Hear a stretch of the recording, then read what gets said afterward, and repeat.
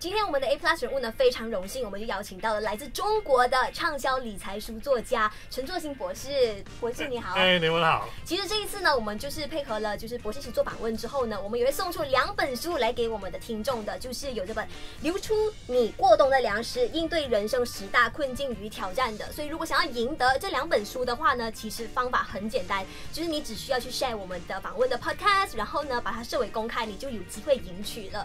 而且最重要的是呢，博士。很厉害哦，因为呢，就是在过去的几年，在马来西亚的股市市场当中呢，他但是投资的回报呢，就是有一倍以上的。其实博士你是怎么办到的？有什么样的一些秘诀是可以跟我们的听众一起分享的吗？哦，呃，这里就哇说说来就挖墙了。呃，其实我们就这样吧，我们想送出一些名额。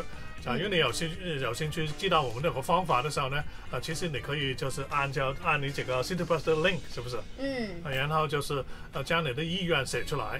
然后我们就是参考了，到时候呢，邀请你过来我们的工作室，跟你们分享这些方法。是，那最后有没有什么建议给我们的听众呢？就是因为现在有好多的投资者，他们都是处在一个观望的状态的，不晓得现在应该是要按兵不动呢，还是可以开始入场了？呃，其实刚才我们说都已经有一些呃 buying technique，就这个 buying technique 就是分开十批买，嗯，就是在你犹豫不决的时候呢，其实可以先买一批。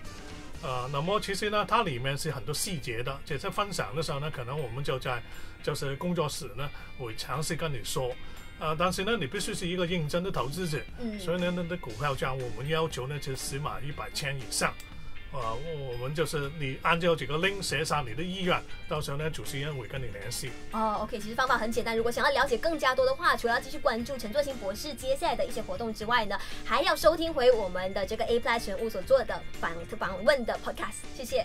好，谢谢。